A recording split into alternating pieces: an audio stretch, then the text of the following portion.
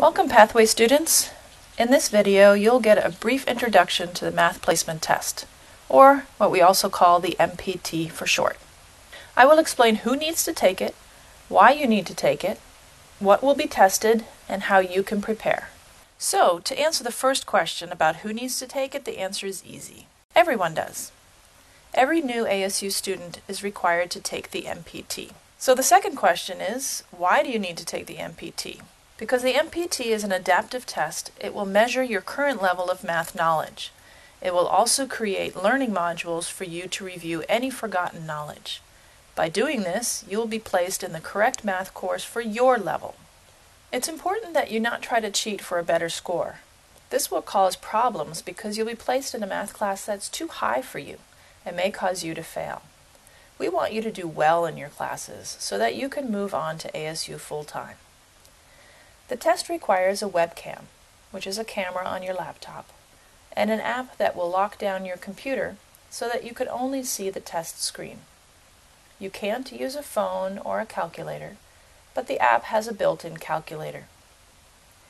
Please also do not use any other help, so no helpful friends and parents, please.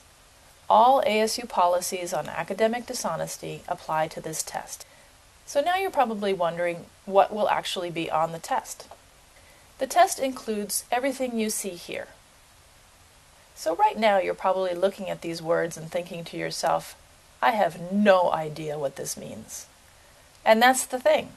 You may know math, but do you know math and English? Don't worry.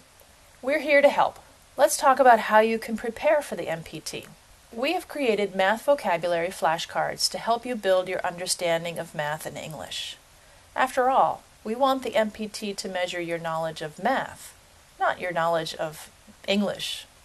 Keep in mind, ASU allows you to take the test up to three times. This is especially helpful if it has been a while since you took a math class. After you take the test for the first time, you can review customized learning modules to help you improve. After 24 hours, you can take the test a second time.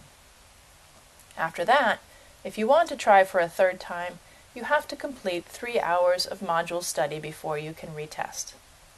Please make sure you complete the MPT before the start of Welcome Week.